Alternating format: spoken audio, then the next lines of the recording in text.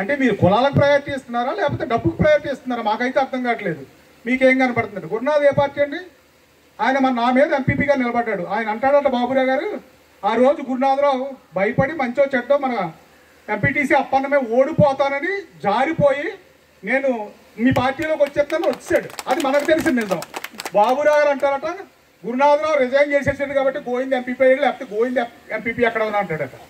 ఏంటి మీకు ఏటి అర్థం అవుతుందో నాకు అర్థం కావట్లేదు బాబురావు గారు. పన్నెండేళ్ళు ఇక్కడ తిరిగారు కదా. ఎవడేటో తెలియకపోతే మీరు ఏ రాజకీయాలు చేస్తారు? అదే గురునాథరావు అలా చేశాడు. వెనకాల ఉన్న ఆ చంటన్నోడు మీరు ఓడిపోతాడు పంది కూడా కాశాడు. మీకు ఎందుకు కళ్ళు మూసిపోయో నాకైతే అర్థం కాలేదు. ఆ తప్పున్న కొడుకులు అందరినీ పెట్టుకొని ఇక్కడ మీకోసం ప్రాణం పెట్టి మీకోసం కష్టపడే కార్యకర్తలతో హీనంగా పురుగులా చూస్తావా? ఏంటి ఎక్కువ నువ్వు? నాకు అర్థం కాదు. ఏంటి ఎక్కువ?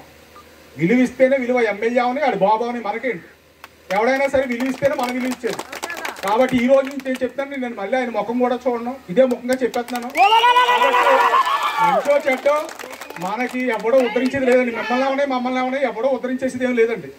కాకపోతే కార్యకర్త కష్టమని వెళ్తున్నాం. నువ్వు ఎలాగా చెయ్యు? చేయనప్పుడు నీ దగ్గరకు వచ్చేదండి మా శక్తి మేరకు ఓపుకుంటే చేసుకుంటాం. లేకపోతే అదే కార్యకర్త బాబు ఓపు పట్టు.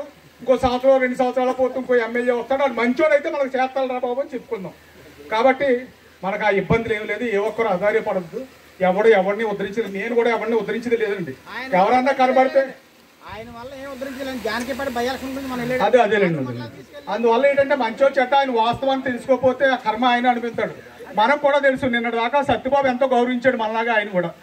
కనుక ఆయన చెక్ పవర్ తీసేయడానికి సిద్ధపడిపోయి ఆయన రికార్డులు పట్టిపోయి డిఎల్పీ అధికార పార్టీలో ఉన్న ప్రెసిడెంట్ ఉండగా ఆ డిఎల్పీ వచ్చి ఆవిడేం ఆశపడి చేసిందో తెలియదు ఏ డబ్బులు కక్కుర్తి పడిందో తప్పు చేయని సర్పంచ్ రికార్డులు అట్టుకోవాల్సిన అవసరం వస్తుంది నీకున్న హక్కేటమ్మా నాకు తెలియకడుతా నీ సభాపూర్వకంగా ఒక డిఎల్పీ అయ్యుండి నువ్వు కూడా కక్కుర్తి వ్యవస్థను కాపాడవలసిన మీరే ఇలా కక్కుర్తి పడిపోతే ఇంకెలాగ వ్యవస్థ నిలబడేది ఎలాగా? ఒక ఎమ్మెల్యే ఉన్నాడు మా వెనకాల సింహలాగా అనుకుంటే చేతగానే ఎమ్మెల్యే కాకపోతే ఒక మన party president taluka Thimmapuram major panchayat sarpanch taluka రికార్డులు ఎట్టిపోతే నువ్వేం చేస్తున్నావు? నాకు అర్థం కాదు. నువ్వేందుకు మాకు సంక్రాంతి అంతే కదా?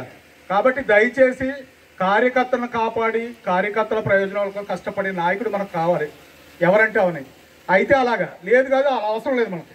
కాబట్టి ఇక మంచో చెడ్డో ఇతనితో మనకు పని లేదు ఇతను మన పని చేయడు.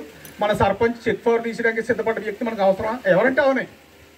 అది ఆయన అవని మన అవని ఇంకొకరు వెళ్ళిన వాళ్ళందరినీ పురుగులో చూడడం హీనంగా చూడడం వెళ్ళిన వాళ్ళేమో కష్టపడి ఎంత కష్టపడ్డారండి? రక్తాలు మరబెట్టే రెండు ఎలక్షన్లు కష్టపడి మూడు ఎలక్షన్లు మీ వెనకాల తిరిగి తిరిగి తిరిగి రక్తాలు మరబెట్టి తిరిగారే కార్యకర్తలు కనీసం వాళ్ళు అడిగేది వాళ్ళ కోసం ఏ ఒక్క పని చేయమని అడగట్లేదు కదా?